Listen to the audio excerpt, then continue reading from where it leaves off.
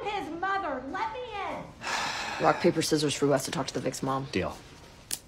It's a game of chance. How do you always win? You always pick paper. That is not true. Here, go again. One more time. All right, one more time. One more time. One more time. One more time. All right, one more time. One more time. God, this reverse psychology is a bust!